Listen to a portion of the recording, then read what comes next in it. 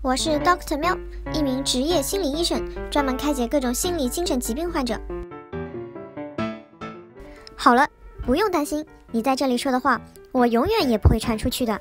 呃，好吧，我这样已经有两三年了吧。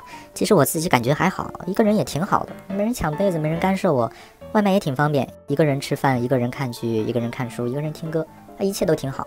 那你还来这儿干嘛？呃，医生，你听我说，大概半个月前，我特别想去看电影，这次啊，我就想找个人陪我一起去看，结果没有人陪我去，忽然一瞬间，我就觉得好孤单，心里空落落的。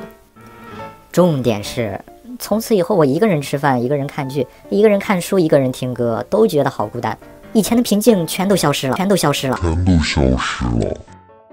根据你的描述，我可以肯定的判断你是孤独症。孤独症，医生，我得的是孤独症。我现在在想，有一天我我生病死在家里了，也没有人会知道会在乎，我该怎么办啊？哎，医生，医生，医生啊！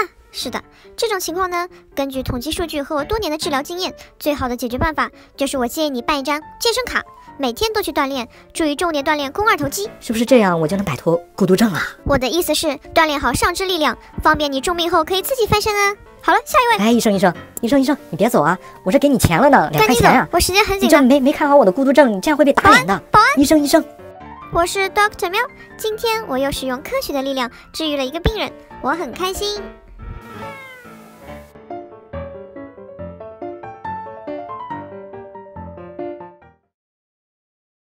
欢迎来到真实的猫世界，在这里了解关于猫大人的一切。